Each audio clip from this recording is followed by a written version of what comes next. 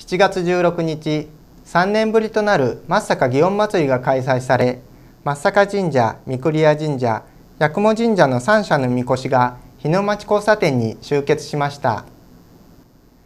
松阪祇園祭の宵宮となるこの日はあいにくの天気でしたが渡御巡業のための準備作業が行われました。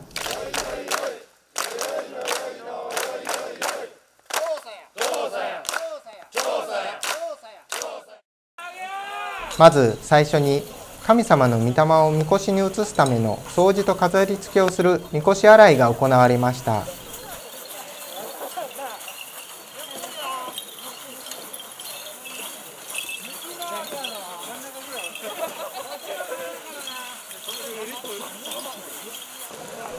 本殿前に移されたみこしを担ぎ手や世話人会の人たちが丁寧に水拭きをしました。みこし洗いが終わると神様の御霊をみこしに移す神事と渡御巡業の安全を祈願するお祓いが行われました。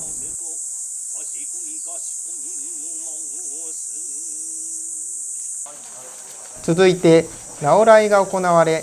参加者全員がおみきをいただき渡御巡業へ出発しました。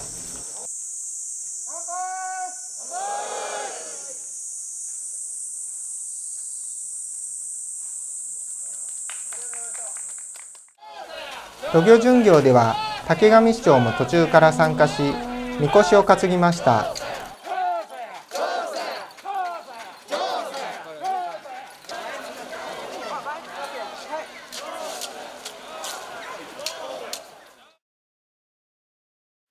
やっぱりね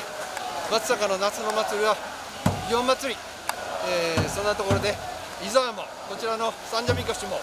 皆さん本当に頑張っていただきました。本当にありがとうございます。コロナに打ち勝つように頑張っていきましょう。疫病退散。松阪神社のみこしは担ぎ手に担がれ本部のある日の町交差点を目指して渡御巡業しました。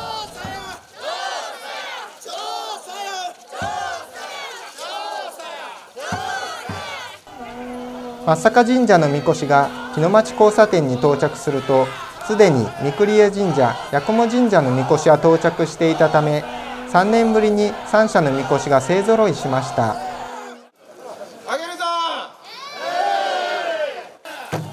今年は祭りの規模を1日に縮小し露店の出店もありませんでしたが担ぎ手による調査やの掛け声が3年ぶりに松阪の町に響き渡りました。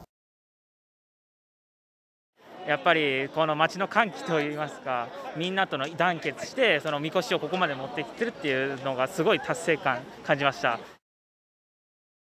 やっぱりもうちょっとこのみんなの盛り上がりに気が最高です。はい。